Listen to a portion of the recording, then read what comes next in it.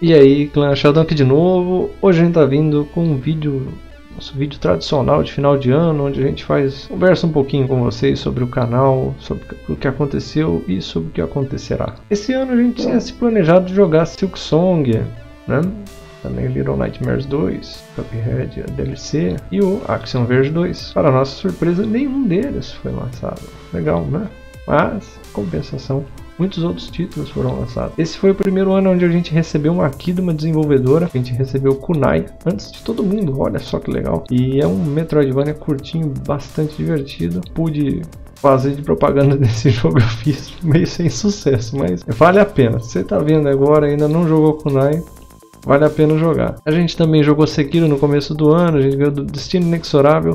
Aqui no canal a gente tem a tradição de jogar Dark Souls e o Sekiro tem a mesma pegada. Foi um jogo muito agradável de jogar, bastante divertido. E a gente sofreu pra caramba, mas deu tudo certo. Outro Metroidvania bom que saiu, não que Sekiro seja um Metroidvania, mas Ori and the Will of Wisps foi lançado no começo do ano. Foi muito bom, muito bom mesmo. A gente fez uma gameplay completa aí dele. Tava bem bonito. No começo saiu com uns probleminha, não como Cyberpunk, mas com uns probleminhas que foram rapidamente resolvidos, né, de desempenho. Foi um jogo bastante emocionante, vamos dizer assim, né? um final muito bonito. Também jogamos algumas coisas que foram pedidas, como por exemplo Rain World. Pediram demais, a gente jogou um pouquinho. O Lesmagato, Baita jogo difícil, não consigo zerar de jeito nenhum, até hoje não consigo zerar, tá instalado aqui, não vai. E botamos em dia também alguns Metroidvanias mais antigos, como Rabi Rabi e o Environmental Station Alpha. Depois de jogar tudo isso, apareceu do nada a DLC de Blasphemous, uma baita DLC gratuita para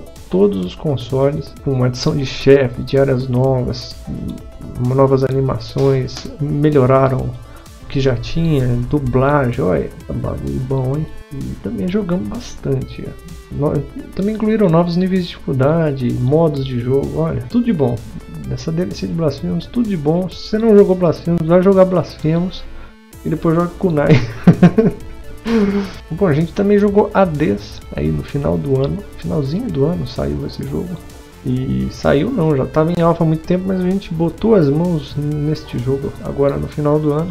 Ele é um roguelike, ele é muito bom, ele é tão divertido quanto o Dead Cells. A gente teve a mesma sensação assim de diversão e a quantidade de volume de jogo nosso foi parecido também. E a gente fez até um vídeo aí do começo ao fim, fizemos uma longa metragem aí na lança, como zerar este jogo. Bom, foi muito bom. Vale também falar aí do Helltaker. A gente jogou, fez um vídeo de Helltaker, joguinho de uma hora, bobinho, mas uma música que gruda na cabeça e nunca mais sai. E vale a pena mencionar, uns personagens bonitinhos, não me arrependo. Agora também a gente adquiriu um capacete virtual, o que significa que a gente passará a trazer gameplays de jogos de realidade virtual. Ano que vem a gente vem com Alex, Super Hot, Rick Morty. A gente pretende jogar até o Minecraft virtual. Pro ano que vem a gente espera que Silk Song seja lançado. Ainda não tem uma data de lançamento, Tomara que sim. Talvez não, mas tomara que sim. A gente acha que talvez lá para maio seja lançado. 9 de maio. A gente pegou essa data do Cosmo. A gente já sabe que vai sair o Little Nightmares 2 também. Assim que sair em fevereiro, a gente vai jogar aqui. Um, é um puzzle bem interessante. Meio sombrio. Eu gostei muito do 1. O, a DLC do Cuphead nunca mais ninguém falou nada, não tem data. Saiu até um trailer de um desenho pro Netflix e a DLC do Cuphead nada. E também o Action Verge 2 também não se falou mais nada a respeito desse jogo. Saiu o trailer na Nintendo Direct e até hoje a gente fica com aquelas imagens lindas né, para um possível Metroidvania sensacional. Porque nesse ano de jogo que me desapontou foi o Inside. Inside não, poxa, nunca é Inside o nome foi o Inmost, que a gente não gostou muito de jogar. A gente esperava um Metroidvania, se você ver o trailer e depois jogar o jogo, são duas coisas completamente diferentes. Então desapontou nisso, mas é um jogo de história e comenta temas difíceis, né? Não é muito alegre. E aí não tem problema de não ser alegre, mas a proposta do jogo é completamente diferente, mais uma história né? Uma historinha que você vai lendo e, e progredindo. Acho que a gente nem terminou a gameplay dele.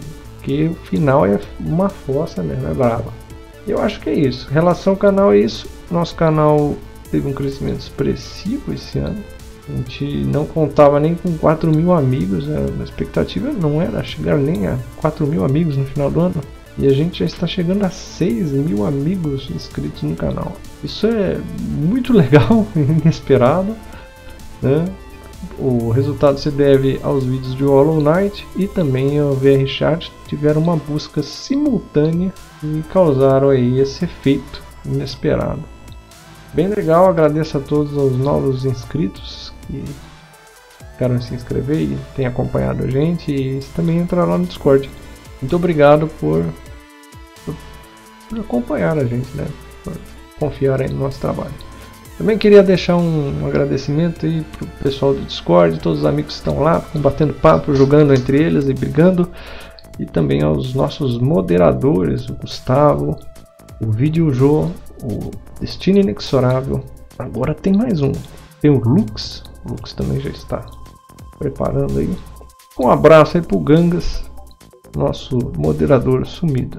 Também queria deixar um beijo aí para Sheldona, que ela tem aturado a gente neste projeto de canal que não tem fim. A gente ia encerrar as atividades este ano, mas acabou não encerrando.